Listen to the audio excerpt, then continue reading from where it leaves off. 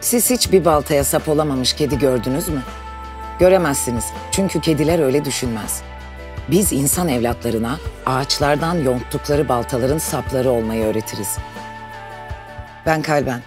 İlk romanım Eski Dünyanın Yangınını sizin için seslendirdim.